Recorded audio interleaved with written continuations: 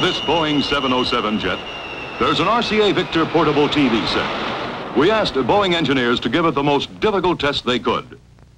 The jet climbed up to the stratosphere, then leveled off at 35,000 feet, 600 miles per hour.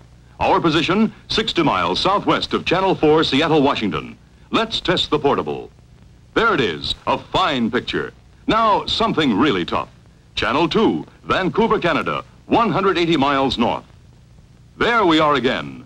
180 miles from the signal, this RCA Victor delivers.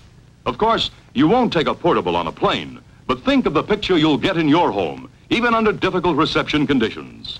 New RCA Victor portables, 14, 17, 21-inch overall diagonal picture tubes, as low as $139.95. See them at your RCA Victor dealers.